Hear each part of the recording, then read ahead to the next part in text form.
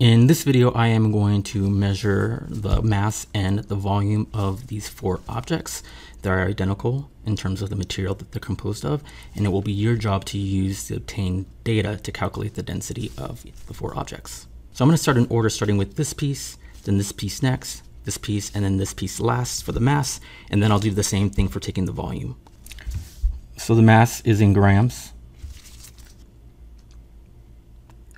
This is piece number one.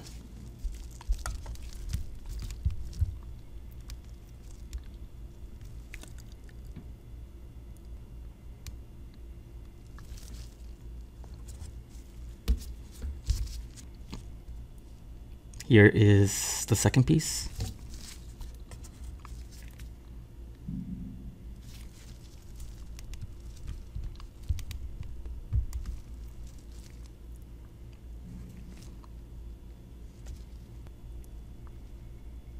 The third piece.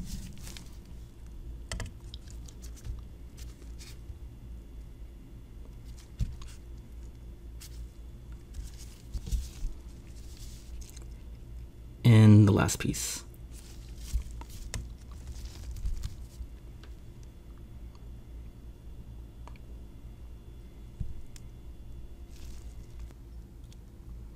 Now I'm going to take a graduated cylinder, 100 milliliter graduated cylinder. And I am going to, for each piece, I'm going to start with the initial volume at around 50 milliliters, 50.0 milliliters. Let me go ahead and start.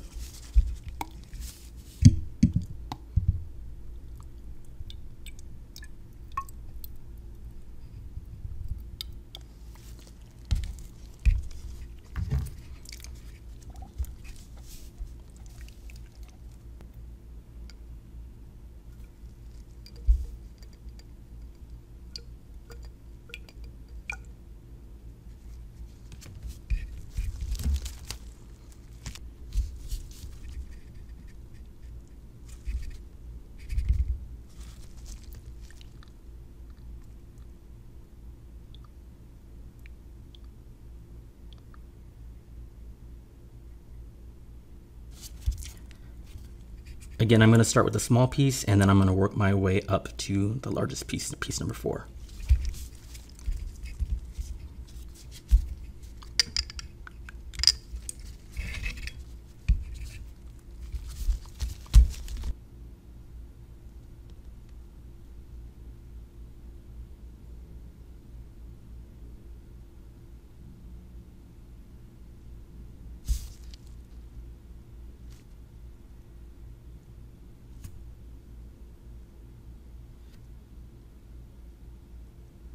Here is the second piece now. Again, I put it at 50.0 milliliters.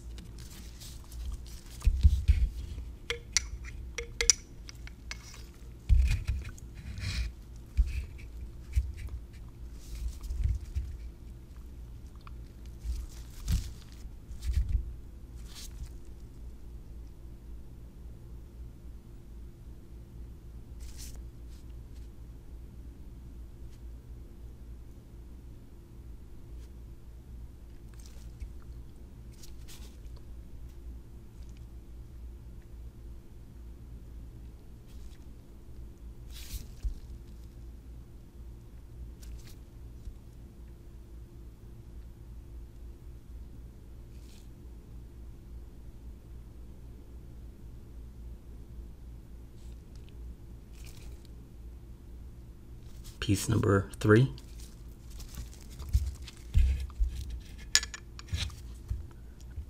Again, it's at 50.0 milliliters.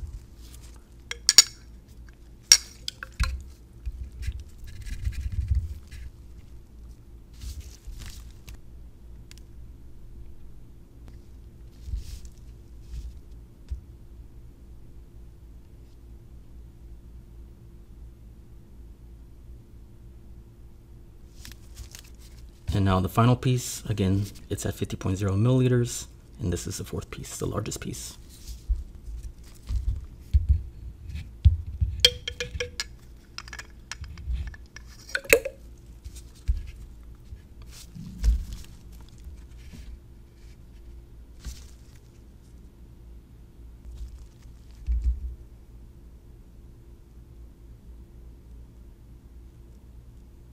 Well, now you have the data for all four pieces of the same substance. Now using the measurements, take that and calculate the density from the mass and volume of these objects.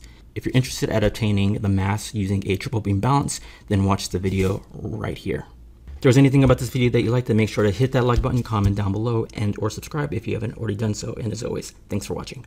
Bye.